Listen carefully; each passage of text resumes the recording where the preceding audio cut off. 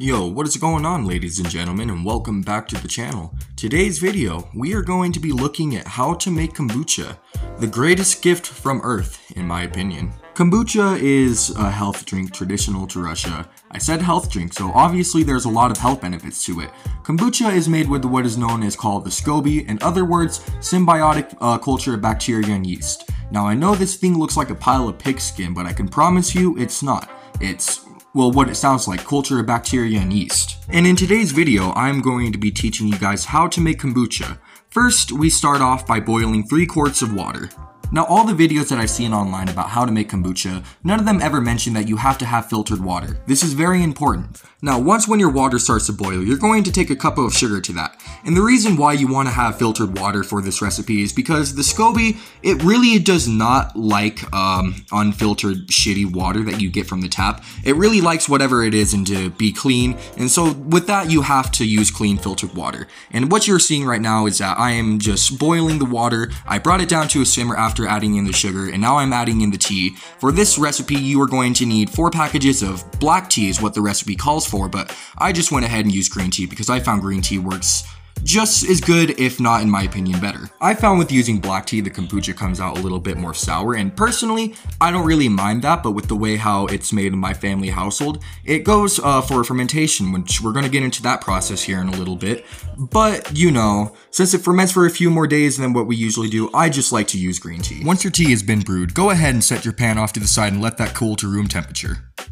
And after many hours, the tea has now come down to room temperature. For your next step, what you're going to want to do, you're going to want to make sure that your hands are nice and clean, and you're going to want to squeeze these tea bags and get all the amount of tea you can from it. Your next step, you're to want a cup of kombucha. And if you guys don't have kombucha already, you could go to your local grocery store and buy a bottle of kombucha, and then just go ahead and add a cup to that. Next, you're want to take your tea and you're want to put it into a bowl for your next step.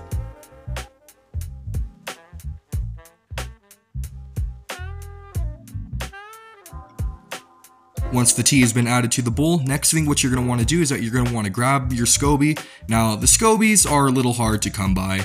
Um, my mom actually ended up getting a SCOBY from a friend or something or a coworker, I'm not exactly sure. But if you guys want to learn how to make a SCOBY, I'll leave a link in the description down below for that, but it is a three week process. For your next step, you're going to want to cover up uh, your bowl. And so before we do that, you're going to want to wipe off the edge of the bowl to get masking tape over it. Just two pieces of tape, and then you're going to want to put cloth over it. So the tape prevents the cloth from drooping down inside of it and just making the tea all nasty and whatnot. Then what you're going to want to do, you're going to take this bowl of tea, and then you're going to want to stick it into a cupboard for at least 8 to 9 days so it could ferment. And the SCOBY likes to be in a dark room temperature place for it to ferment. The average recipe usually calls for a week uh, fermentation, so only 7 days. But I went ahead and just did 9 days instead because personally, I like my kombucha to be a little bit more on the sour side. Like what I said earlier about um, having the kombucha on the sour side and using black tea, green tea, and whatnot. Since the normal fermentation day is 7 days, but we go through ours through like 8 through 8 days, I like using green tea because it keeps it more sour, but like not too awfully sour, if you know what I mean. And if you guys are wondering what I'm doing right here, I decided to go for a pumpkin spice kombucha.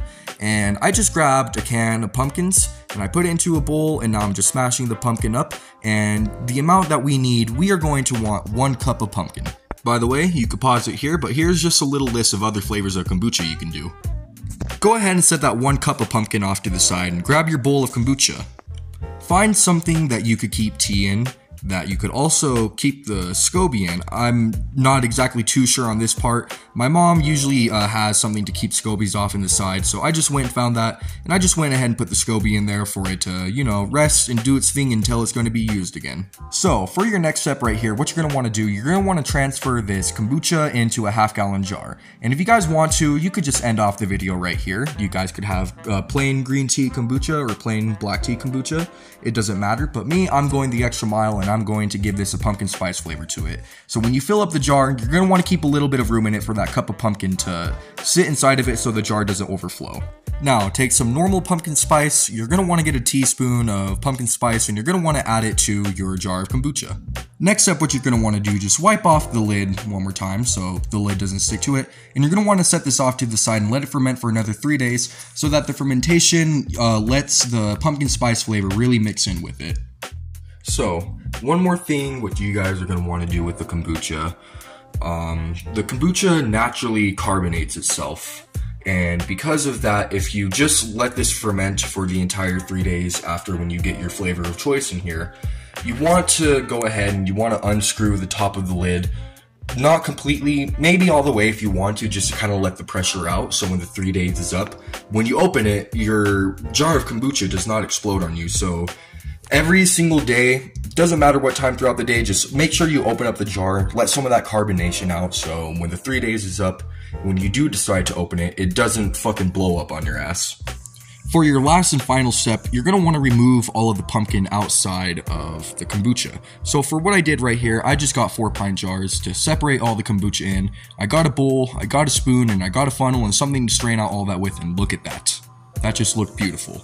Go ahead and scoop off all the stuff that's on the top of it, put your funnel inside of a jar, and go ahead and just start putting in all of your kombucha into these jars until all of them are completely full. And that is it guys, your kombucha is completely done. Once when you have all of the kombucha separated into different jars, you are going to want to keep this refrigerated. If you guys do not keep it refrigerated and keep it in warm temperature, the fermentation process will start to happen again. It'll grow it will grow a new SCOBY on top of your kombucha, and the kombucha will tend to be more sour, almost like a vinegary like substance. Also, the longer it sits for in a refrigerator as well, it'll start to grow some stringy stuff inside of it, and don't be alarmed by that. The kombucha has not gone bad, that is just a sign that your kombucha is alive and healthy and it's doing what it's meant to be doing when you drink it.